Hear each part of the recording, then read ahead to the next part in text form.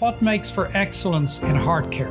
It starts with one of the most amazing teams of heart surgeons and cardiologists that I've seen assembled under one roof and the region's leading technology in a new $40 million facility.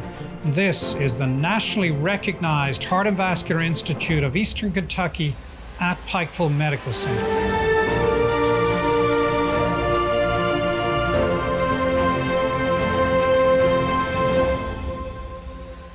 On Friday, March 24th, Pikeville Medical Center hosted a roundtable discussion with the president of the Kentucky Council for Post-Secondary Education, Dr. Aaron Thompson. The main talking point of the meeting was to address the ongoing healthcare workforce crisis in eastern Kentucky.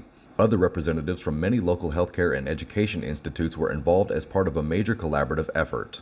For Kentucky to have uh, a continued thriving economy, it's going to have to have a highly educated, healthy workforce.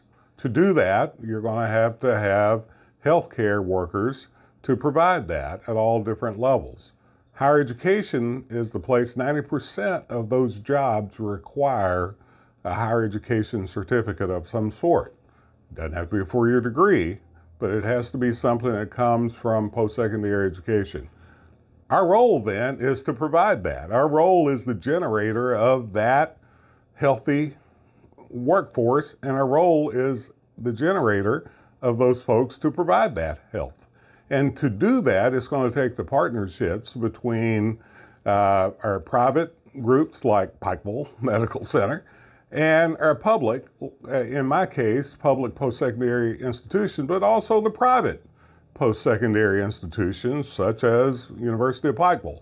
So all of those post-secondary institutions should be working closely hand in hand on the front end of building out what's needed for healthcare and for Kentucky.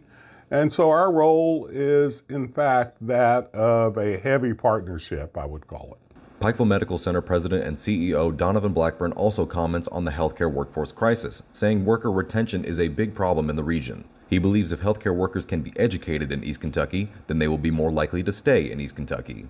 We tried to think outside the box in ways that what makes economic sense. But what makes more sense is, is if I recruit somebody from Charleston, then they're here for two years and then they're gone. If I recruit somebody from Belfry, they're here for a lifetime.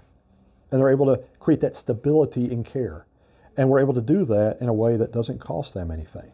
We can put thousands of people to work in eastern Kentucky, but we have to get our education system to understand the need we have over 530 new seats available in just Pikeville alone in these different school systems that will be open in April.